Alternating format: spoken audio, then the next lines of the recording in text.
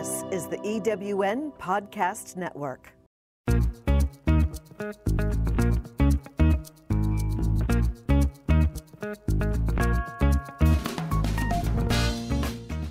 Welcome to Late Boomers, our podcast guide to creating your third act with style, power, and impact. Hi, I'm Cathy Worthington.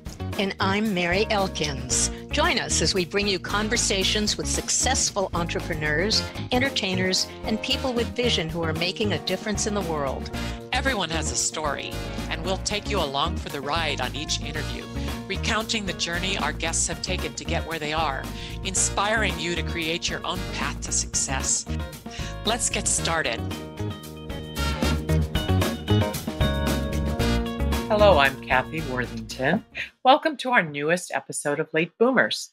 Today, our guest is Danielle Orsino, fantasy author, martial artist, and cosplayer. She is the award winning author of The Birth of the Fae. Before that, she was involved with martial arts and a nursing career. And I'm Merry Elkins. Danielle, as a cosplayer, has appeared on all the covers of her books as her character, Faye. Because of this, she now has a following of Faye Natics. She's done a masterful job of world building in her books, and we hope you'll enjoy our discussion with her today. Welcome, Danielle. Thank you so much for having me, ladies. I'm so excited to be here and chat all about things Fae. And it's great I, to have you. And I know you, for those of, of our audience that are watching on YouTube, you are dressed as Faye today, which you frequently do. And that's part of the cosplay thing that we're going to talk about. And I know it's a real interesting story about how you became an author and what led up to it. So tell us about your background and your inspiration for that. I started out as a martial artist, transferred into nursing because the joke is, you know, once you beat them up, you got to patch them up. so I, I, made that transition into nursing uh, after, you know, competing in martial arts and competing professionally, fighting forms, that whole thing. Uh, the last thing I did was I competed and represented Team USA under the WKA flag uh, at the World Championships in Disney World. Uh, I won a silver medal. And when I was done with that, I decided I'm good. I've kind of uh, done my dream. And I left. That made that my last uh, hurrah and went into nursing. Mm-hmm. After a couple years in nursing, I went to a Lyme disease clinic and I found Lyme disease fascinating because it's the great imitator of diseases. And there I met an interesting patient who we started the same day. He it was his first day dripping, my first day working there, and we struck up a friendship. After about a year and a half, he just didn't want to do it anymore. He had transferred his whole life to Westchester County from Pennsylvania, and uh, he'd driven five hours, and you know he was just done. Mm-hmm. So he wanted to go back home. Don't blame him and our protocol was very strict. You dripped every day for anywhere from about 45 minutes to two hours, mm-hmm. seven days a week, Christmas, New Year's, you name it, we were there. And so he struck up a deal with the doctor and said, basically, let me go home. And what I will do is I will drive up on a Wednesday, five hours, I will drip for two hours and turn around and go home. Then I will return on Friday. I will stay Friday, Saturday, Sunday. Monday, I will drip turn and go to work, and then I'll do this all over again. I knew this wasn't going to last, but I was like, yeah, sure, whatever. Uh, and lasted about three weeks before he was like, I don't want to do this. So we were chatting one day, and he was like, Look, Danny, keep me in this chair, or else I'm going home. I'm done with this. So we struck up a conversation, and I said, Well, tell me something interesting about yourself. And what came out of it was he was like, Well, I was recruited by the CIA out of college. I don't know if you find this interesting. And I'm like, how did I not know this after a year and a half? How did this not come up with all the times you've sat in this chair? And so he told me it was the, for the Trends and Intentions Division. It was basically an analyst. And that just sparked this whole little conversation between conspiracy theories and, you know, Roswell and whatever. And so uh, we joked about basically what he could have done in the CIA and things like that. And out of my mouth came, um, well, you know where Lyme comes from. And he was like, yeah, yeah, yeah. You know, Plum Island, went down that rabbit hole of conspiracy theories. And I just said, no. For some reason, I said, the Fae. Don't know why I wasn't reading any books about fairies. I wasn't, you know, I was on a vampire kick, as most of us, you know, get. and he went, well, who are the Fae? And I don't know what happened, but from there, I just started telling him this story off the top of my head about fairies being locked out of heaven, this CIA agent who was stuck in a Lyme clinic to find out if there was a Fae human hybrid at this nurse. And I just started telling him a story. And every day he sat down, I told him another piece of it, and I put him in the story as the CIA agent. And we just started going. And that's really how the whole thing started. And we That's went from genius. there. I didn't think much of it. I was just kind of Mhm. off the top of my head telling him a story. And that's where it all really came from. That's so Un- great. unbelievable. And that is Turn it into a series of books. That's a brilliant way to use it. Yeah. I didn't, I never thought it was going to go down. It was actually the patient who was like, you need to go home and write this down. He kept pushing me. And I was like, I'm going to physician assistant school. Like, I already started my prereqs. I put a lot of money into my degree.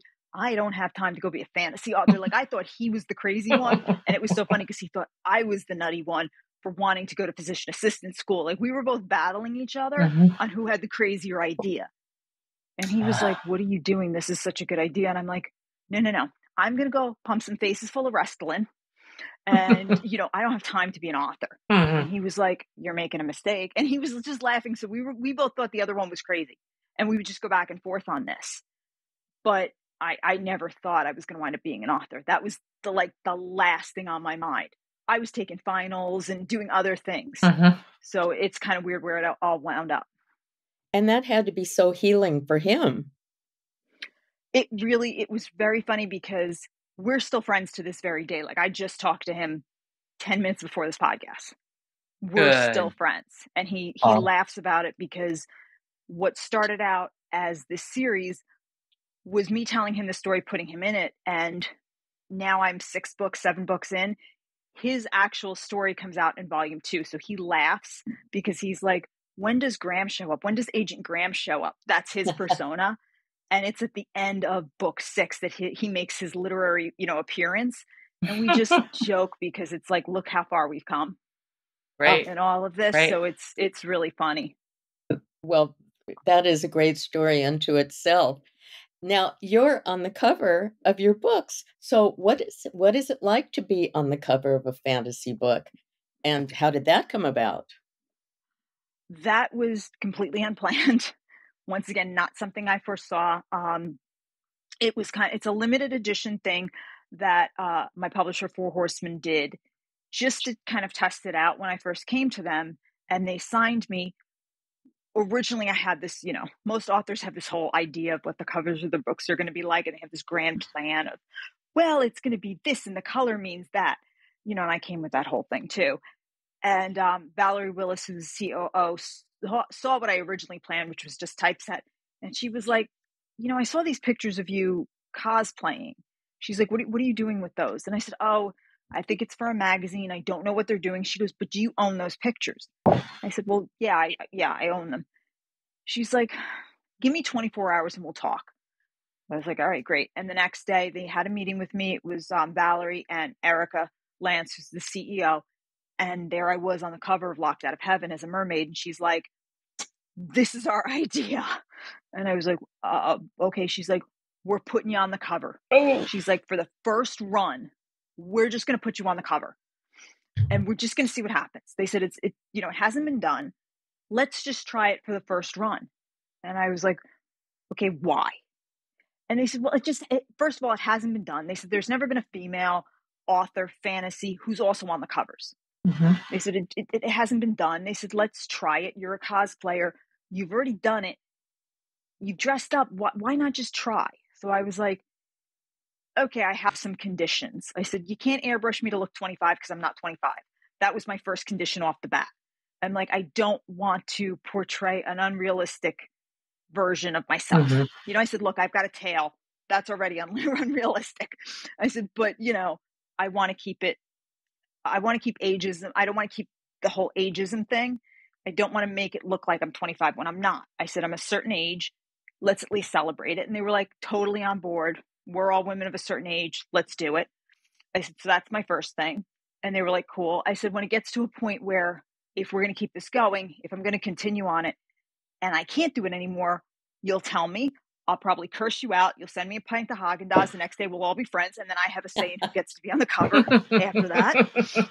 They were like, cool. But they said, I think we're just going to do it for the first volume and we're going to do it for like the first couple years and then we'll see. So I was like, great. So we did it. Um, we've done it up to book six, which is the vo- volume one.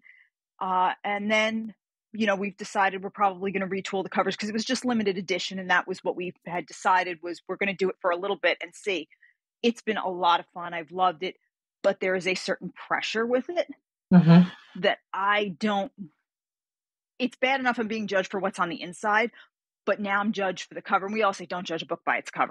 We do. oh, I yeah. Let's be honest. We do. I know, but it's so wonderful. Yeah. But I have to ask We But you. when you're on the cover, yeah. too, it's a lot. So Yeah. I have to ask I'm you, thinking. is it is it Mhm. maybe this touches on that a little bit, but is it awkward or difficult being a female in the fantasy world? Female author, not necessarily the cover, but is that an issue for you? it it was a lot. Um, it's very weird because when I first started and when I was querying, a lot of people wanted me to change my name. They wanted me to go by my initials, so people did not know I was a female. Ah, Everything was, can you make it DM Orsino?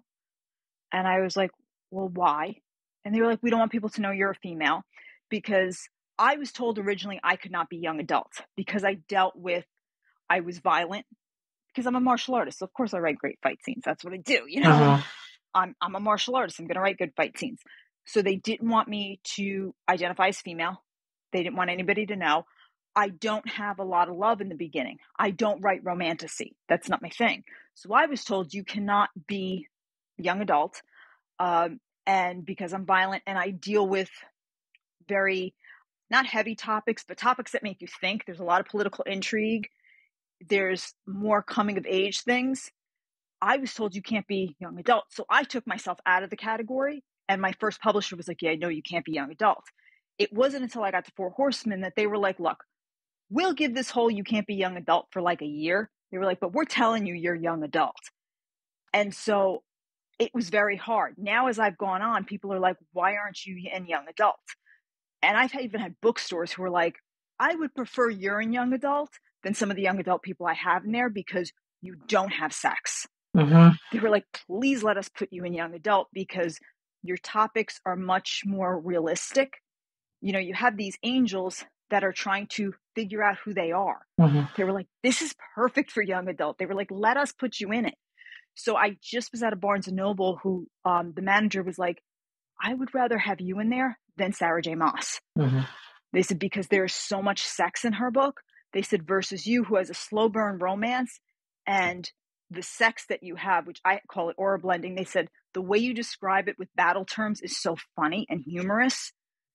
I would rather have you there than have these parents come back yelling at me for the smut they're reading. Yeah. Because the young adults would still appreciate what you're doing.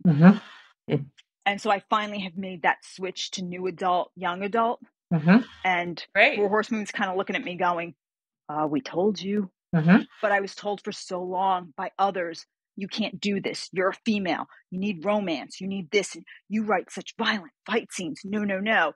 That there's such a double standard. hmm Because if I was a man, nobody would be looking at me twice for writing good fight scenes or saying I'm angry or asking me to change my Mm. name. Yeah. But as a female, it was change your name. Can you just go by initials? Which I never Yeah. did. I was like, I'm keeping my name. So it, it's been very odd in that sense.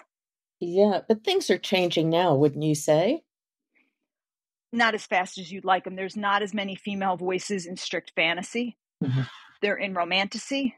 They're in Yeah. young adult, but even then, there's always somebody kind of nudging you, like, "Can you put a little more romance? Can you can you give me a female lead that's looking for for a guy?" And I'm like, or looking for somebody, and I'm looking at him going, "My chick is building a a, a kingdom. My guy is building a kingdom. They do not have time to swipe right or left." I'll get there. but right now, they just lost their home. They've been kicked out of the Shining Kingdom. They have no job. They have no life. They're not looking to go get a date. hmm Like, we don't have time for this. Yeah. So it's kind of funny. But but um, are there a lot of female readers of uh, fantasy? This kind of fantasy? They're coming around. There are more. I have skewed more male for a long time, but I think it's also where I was put and where I was Yeah. placed. I'm getting more now. They're coming around to me. but originally I was placed in that Game of Thrones, um, Lord of the Rings category, and my men, my male readers especially enjoyed it because they did like the fight scenes, and I have a lot of dragons, and they were like, "Wow, this is really cool," and they appreciated the technicalities and you know the technical aspects of my stuff. They really loved, and I don't do big sweeping battle scenes. You will not see ten thousand horses coming down a field like Braveheart with me. Mhm, There's mhm. small fight scenes that are very technically accurate. So that's Mm. where I picked up a lot of my my readers. Good. Any martial artists loved it and they were like, she got it. Yeah. so I'm getting I more now. Yeah, the reason I asked that question is because um, in, you you in, I had thought about asking you about where the inspiration for your book came from, which you've already discussed, and so it occurred to me that perhaps you read a lot of these books or watched things like shows like Game of Thrones in order to even come up with a story like that to tell the the man that you were you were helping at the time. So I had never seen Game of Thrones. Um, I didn't read it. I didn't see. I didn't even see Game of Thrones till season six, and I binged it at that point because I didn't want it to influence. By the time I heard of it, I was already through book four, and I didn't want it to influence me at all. Mhm. So you never read it when you when you told the man that you were nurse Nope. nursing. Mhm. You never Didn't read it. know. It just came out of your brain. Nope, That's just came just out to this day. The only books I had read that I could say maybe were close was I'd read Mists of Avalon maybe Yeah. 15 years ago. Love I that saw book. the Yeah. miniseries with Julianna Margulies when it first was on. I don't even know how long ago that was. Um, that was as close as I could get. I mean, I'm a comic book geek, hmm so even where I pulled some of the character inspirations from were more comic books Right. than I could say Oh. medieval or, or fantasy. hmm It, it came more from comic books than anything else. That's great. Mm. But tell us what it's like to be on blasphemy lists and tell us the Ooh. background on that. What's going on with that? Um, blasphemy lists are basically where they call you an enemy of religion. Oh, Uh, so I have been on. I'm on two. I'm aiming for a third because I feel like you know, then you've really made it. Uh, you know, you got to you got to find the uh, Oh. silver lining in that. Uh, my first publisher hit just hit the wrong button basically when they were putting me on in categories, and so because I deal with some religious topics in the sense that you know my fae originally start out as angels who can't go home. You have the virtue angels and the power brigade angels. Uh, they hit Christian fiction by accident.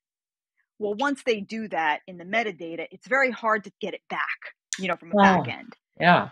It was just an honest mistake. It wasn't like they were like, "Oh, watch this," you know. All all publicity is good publicity. It wasn't that. It was just an honest mistake. Unfortunately, some people got a hold of the book thinking it would have a Christian positive message Mhm. and took it the wrong way Mm. once that happened, it was like kindling, match, light. And yeah. people took it in other directions. And so it became that I was making fun of the Bible, I was making fun of angels, and they went in different directions with it. And um, I just upset the Oh. wrong people. You Yeah. know, some people cannot see a fantasy book for what it is, is just a fantasy book. And so it just wildfire. And so I started receiving messages that I was angry with God and whatever. I had um there was a YouTube video that they were going to petition the Vatican to have the book pulled. Um and I think it was up for maybe an hour before YouTube pulled it down. Um I was on some it was the Christian Ethics Committee. It was some Christian ethic whatever. Uh they named me the first person of blasphemy and then others followed like dominoes and then i started getting dms from it within instagram that was just like basically give us your home address. We want to send you books on basically to repair your relationship with god. And at that point i started answering them. At first i was like really upset. I went through the whole i'm, I'm so upset thing. And then finally i was like i started answering them with you know cheeky answers like I'm sorry, Lucifer has not told me what realm of hell we will be living in once we're married, but as soon as he does, I will let you know. Right now, we're registered at Bed Bath and Beyond. Please send towels. Um, you know, like stuff like that, because I was so you guys have got to chill out. It's a book. Like, please, the chapters that bothered them the most were in Locked Out of Heaven, there's a chapter called Empathy for the Devil, where two of the Power Brigade angels are debating the fact that Lucifer took his horde of demons home and did not, and while these two Power Brigade angels were locked out from the Shining Kingdom. So, who is the bad guy? The creator or Lucifer who protected his demon horde? And they're just debating, like, gee, who's the bad guy? That sent people to Twitter. They were just like, oh my Mm. God. And then at the end, there is a um uh, a biblical event that we all know regarding a parting of a certain sea where um, I describe it as a Fae battle. So it happens, but humans take it as this is a biblical moment, but the Fae, for the Fae, it's a battle. So the humans say, oh, this is a, a biblical thing, and the creator had it, but really it's a Fae battle. So I just, certain biblical things that have happened in human history are really Fae moments. Mhm. They're like, oh, this is blasphemous. And I'm like, you, you understand this is a fantasy book, right, people? I'm not saying this happened. This is not gospel.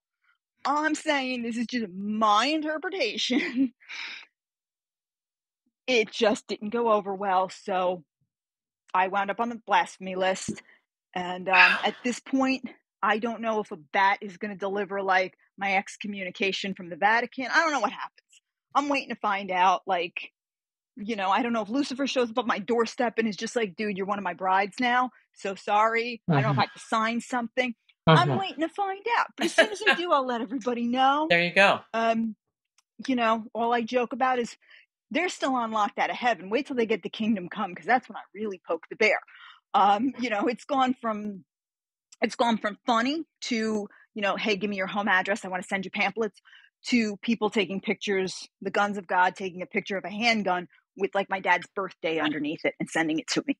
So I've gone from funny to like threatening my life over this book it's mm, it's, It's really sad. That's all I say to people. So I, it's That's it's so yeah. frightening. So frightening what people will do. Well, I- yeah. changing the subject a bit, how you, and you brought this up a bit also. Mm-hmm. How do martial arts assist your writing? That's helped me a lot with fight scenes. I love my martial arts has helped me make my fight scenes as realistic as possible. So I will um I will usually take my phone, set it up on my little tripod, and I will videotape all the fight scenes Oh, and see if I can make it as realistic as possible. Because as much as I love my superhero movies, you know, I hope DC gets it right eventually. Um, but I hate when it's just a fist going into a body part and then we just see a cape and you're just like, okay, wait, what happened? I know somebody got punched. I don't I like to be able to think of myself in the moment and actually like in the middle of the fight or watching it happen and know, oh, I can see everything. I don't like when it's just a close up of a body part because then I can't I don't know what they did. You know, you're sitting there going, okay, I think somebody got punched in the jaw. I don't I don't really know. Or the person just falls and you're like, what did you just do? I, you know, that drives me nuts. So what kind of martial scenes- arts um, moves do you use? I try to keep it as realistic as possible because what I've noticed over time, and I don't know if you know if anybody out there is familiar with a lot of the movies, but we went from just bar fighting like in the movies to now everybody is the karate kid.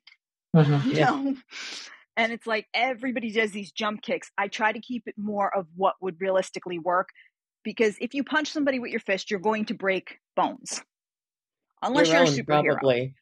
You know? Mhm. so i try to keep elbows and knee smashes and things a little more realistic rather than just a punch because like i said unless you're superman or wonder woman you're breaking you're breaking knuckles. You're going to break these little bones. Your, your hand has tiny little bones. They're going to break.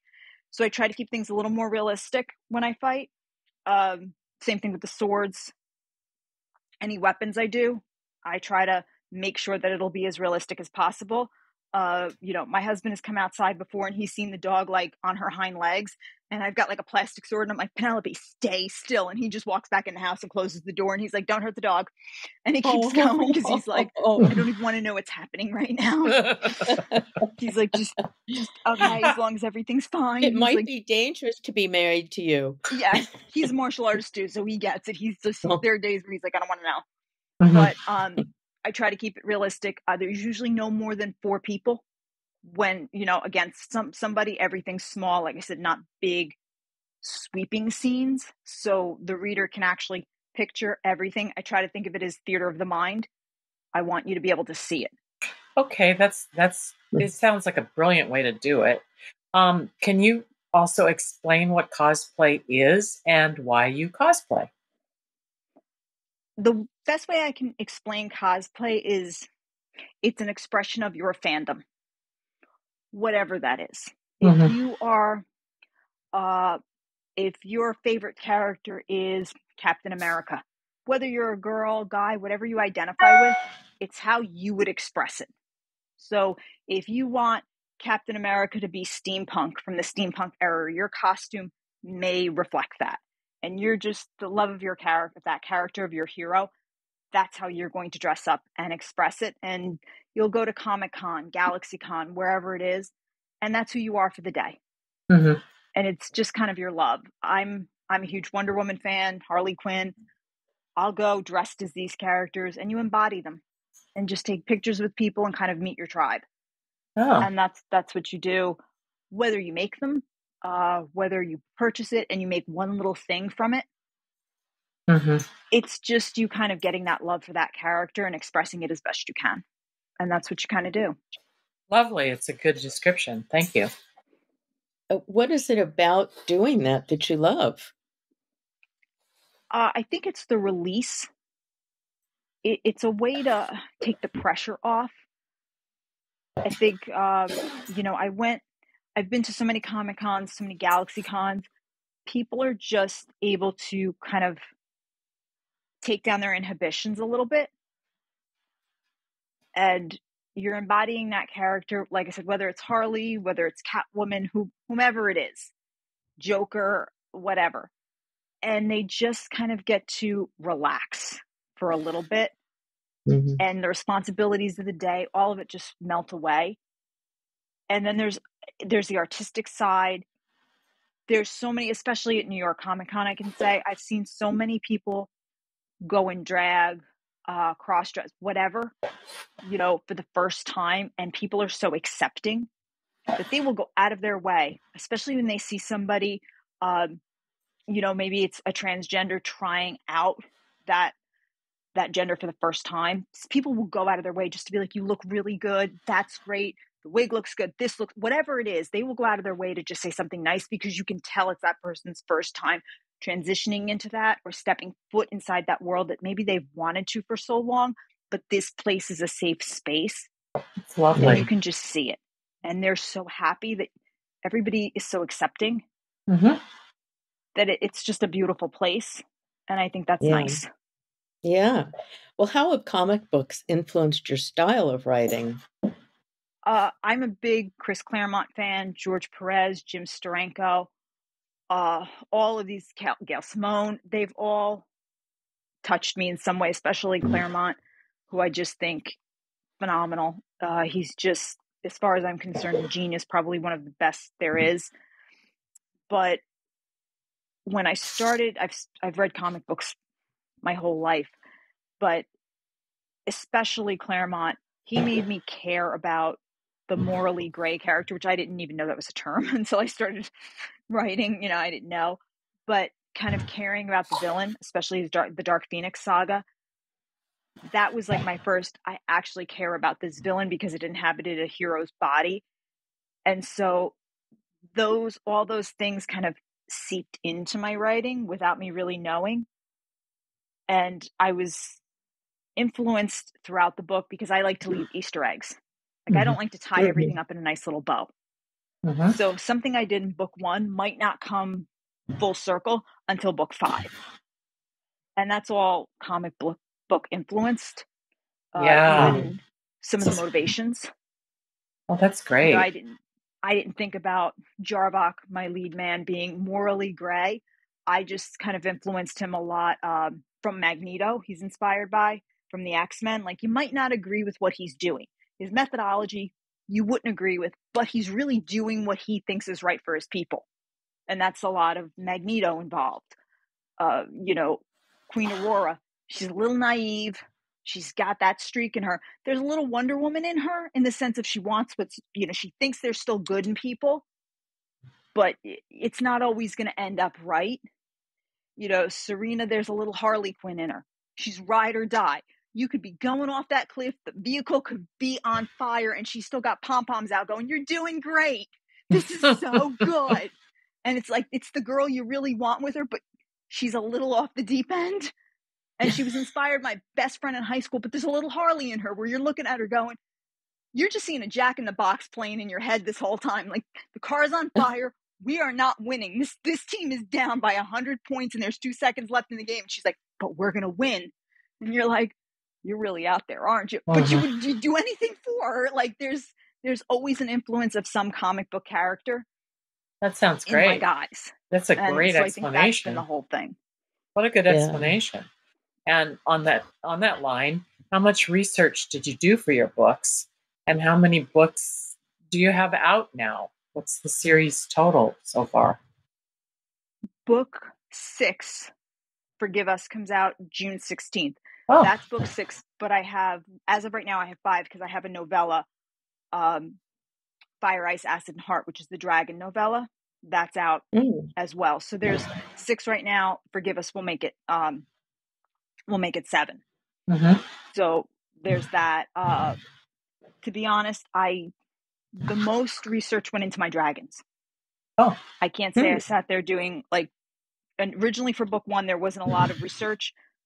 Book two there was a tremendous amount because I went into uh, Tudor England and I Hmm. took a Tudor etiquette class and I did all these things to make sure Tudor England was right on because the only thing I knew about Tudor England was um, the show The Tudors and I'm pretty sure Jonathan Rhys Myers had nothing to do with uh, King Henry VIII and I don't think that was accurate.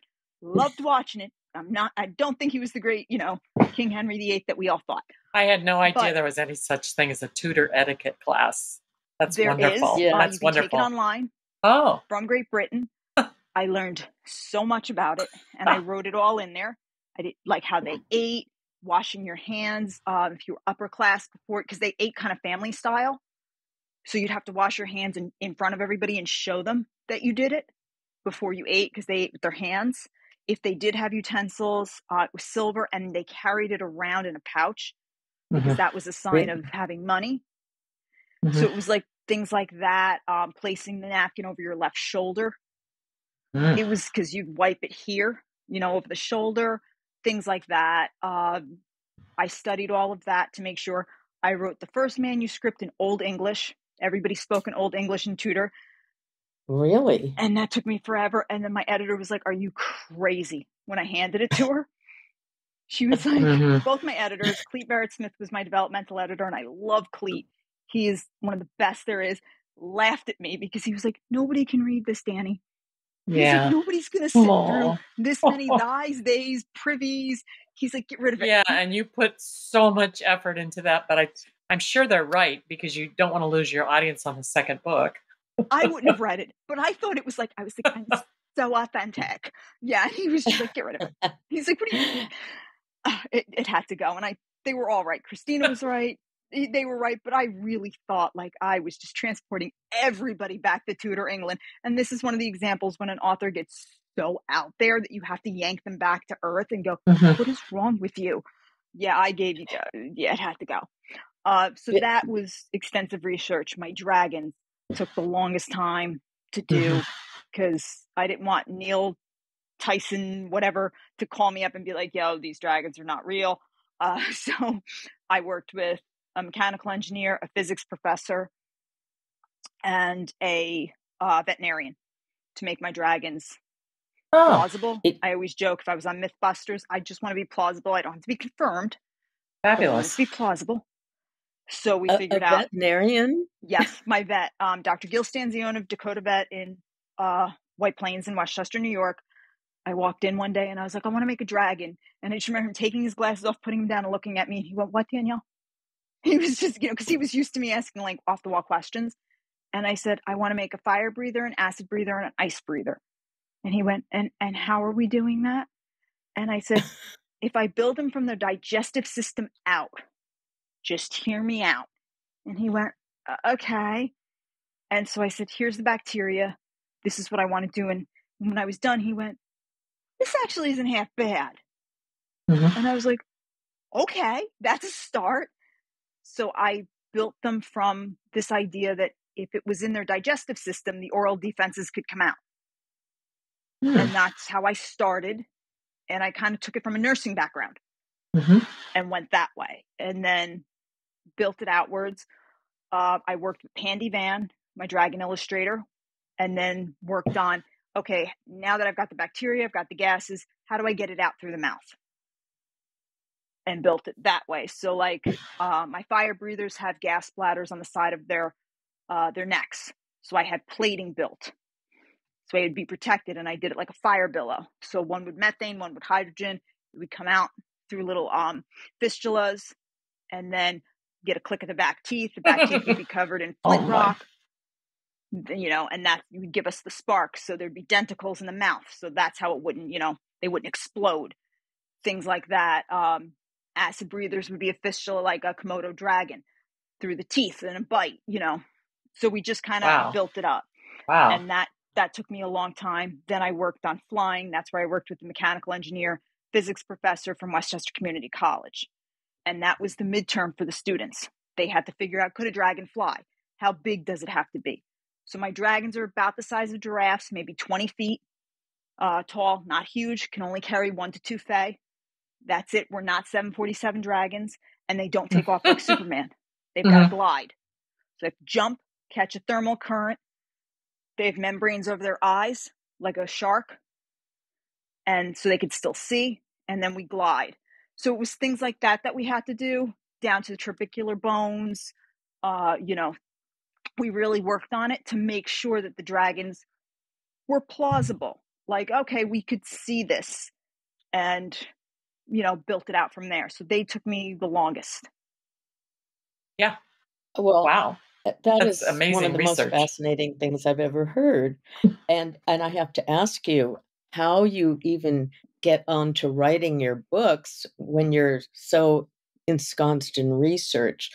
And I also have to ask you is was the old English version of your book the worst mistake you've ever done as an author? Oh no, I've done much worse mistakes. That was that was nothing compared to mistakes I've made. I've made so many more. Um, I handwrite everything because once again I didn't know what I was doing. So I thought everybody handwrites. Uh, I handwrote everything first because then I always had paper with me and I was so scared I would lose something that I got in this paranoia of handwriting. Because then I was like, oh, then I never lose it. Like my computer doesn't fry, doesn't get hacked into, you know. So I always uh-huh. had another version. So I started with that. Then I go to the computer, and that's where the like first round of edits starts. Uh, so I have tons of journals, but uh, biggest mistakes I've made, I've fallen for every scam out there. You name you name the scam, I've fallen for it. You know, mm. oh, I'm I'm an author life coach. Okay. You know, because I didn't know what I was doing. So I thought I needed that validation of somebody telling me, oh, this is good. Mm-hmm. You know, I mm-hmm. always thought like I needed that extra because I'm right. not a trained author. So I thought if somebody was like, I have a degree in creative writing, that makes them better than me. Mm-hmm. Mm-hmm.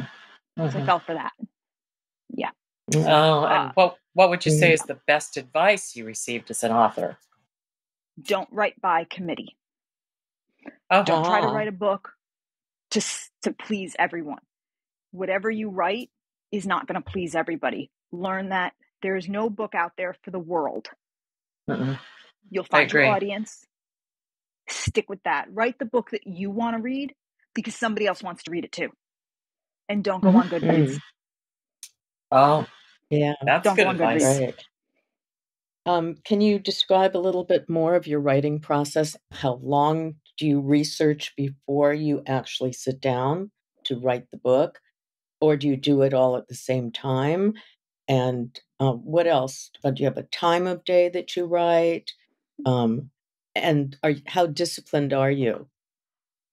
I write pretty much all the time. That's why I always have my um my journals with me.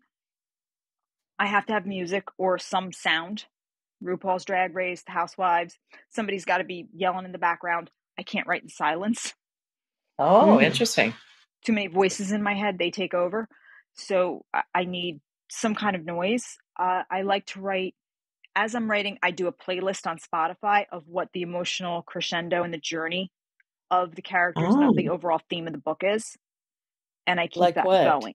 Um, so for for Birth of a Succubus, which is volume two, I have probably about 14, 15 songs, starting from Graham when you first meet him to the end of his journey, playing like the first song is Ricky Nelson's Traveling Man.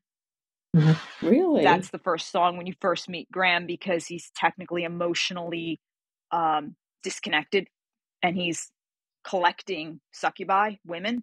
So that song, huh. you know, he's got a woman in every port. He's got a woman behind glass. That yeah. made sense to me. So I try to like find songs that kind of have hidden meanings and keep it going. And then I'll usually release the the playlist on Instagram for people, you know, so mm-hmm. they can listen to it as they read and kind of see maybe where I was going with things.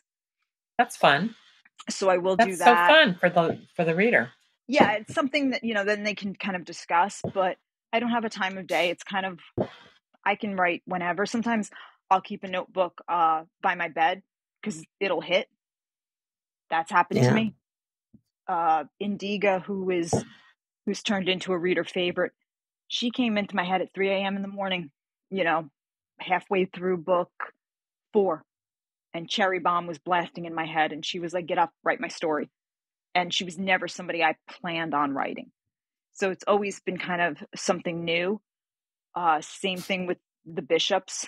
They turned into villains, and I just needed a name, and they were, you know, it was somebody that had given me problems throughout my martial art career. And so, so I was kind of doing trying that to figure hand, it out. Right, doing the handwriting and having the notebooks and the paper is a really efficient way for you to write. Sounds like. Yeah, not inefficient at all. You always have it. You're not going to get up and go open up the computer and do all that if you've got it right by the bed, right? You just do it in the bed. Yeah, sit there. I'll just grab it and and start going. And, and then it becomes order. And then it becomes a bit like automatic writing. It's coming to you and you're just going through you. That's yep. really wonderful. What would you like our listeners to have today as their main takeaway? Um, I think the main takeaway is that no matter what plan you have for yourself, if you listen to the universe, I think in general, the, the universe throws little pebbles at you. And if you don't listen, it throws a rock. If you still don't listen, throws a boulder, brick, and then eventually some big old rock comes thrashing, crashing through your window. Just listen uh-huh. and eventually you'll be led down the right road. Because i really thought i was going to be an np a physician assistant. I had my life planned out. And then it was just like oh isn't that sweet? You think that's what's going to happen. Watch this. You just have to kind of yeah. keep an open mind. You never know what's going to happen. You don't know what's going to happen with the people you meet and the impression they will leave upon you or what they can lead you to the next step because I really thought this is where it was going to go. And I've reinvented myself, I don't even know how many times.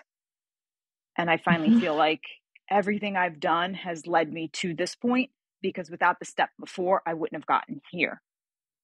Mm-hmm.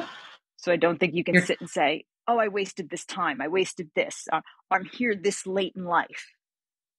Mm-hmm. It's like, yeah. no, you don't know you wouldn't have been ready for this like i would never have been this where i am like if you had taken me back 20 years and been like here's birth of the fae here's all the inspiration go my 20 year old would have been like what the hell are you going to do with this i'm going to compete i think i would have mm-hmm. wasted the opportunity yeah beautiful yeah. well said thank you yeah inspiring really well said thank you so much danielle this has been a wonderful, wonderful conversation. And I so admire your agency. Uh, Our guest today on Late Boomers has been Danielle Orsino, fantasy author of the Birth of the Fae series. Check out her website, and it has beautiful book covers on it. At mm-hmm. Birth of the Fae, that's F A E dot com. And you can follow her on Instagram at Birth of the Fae Novel. Thanks again, Danielle. Thank you so much, ladies. I appreciate this. Thanks. We appreciate you. We want to remind you, our listeners, to follow us on Instagram at Late Boomers and at I am Cathy Worthington and at I am Merry Elkins. And please subscribe to our new YouTube channel, Late Boomers Podcast, because there you can see Danielle speaking to us live in full cosplay in her beautiful outfit. So also please subscribe to our podcast on your favorite platform so you don't miss an episode. We hope you are inspired to do some fantasy reading today. Thanks again, Danielle. Thank you so much.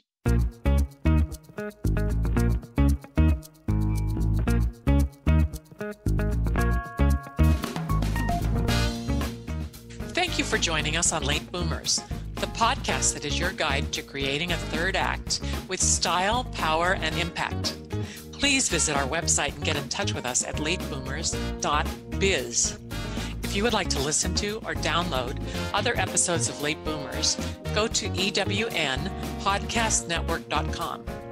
This podcast is also available on Spotify, Apple Podcast, and most other major podcast sites. We hope you make use of the wisdom you've gained here and that you enjoy a successful third act with your own style, power, and impact.